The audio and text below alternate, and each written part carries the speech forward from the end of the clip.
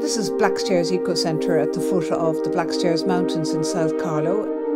We run four lovely, comfortable shepherd's huts. Each hut sleeps two people in a nice, comfy double bed. Uh, there's electricity and heating in the huts, so you're nice and cozy. And then we have a bespoke eco barn where people use our wet room and showers. We have a very modern kitchen, a nice dining area, and people can look out on our water garden while they're having their breakfast. There's also a nice chill out area upstairs.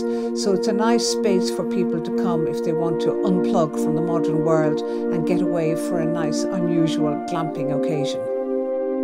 I'm Mary and I run the centre with my husband Robert and our daughter Dorothy Ellen. We're really looking forward to welcoming you as soon as possible and you can get further information and all update on our workshops on our website www.blackstairsecotrails.ie.